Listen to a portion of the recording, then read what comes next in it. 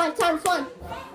Five is five. Five times two is ten. Five times three, fifteen. Five times four, twenty. Five times five, twenty-five. Five times six, thirty-five.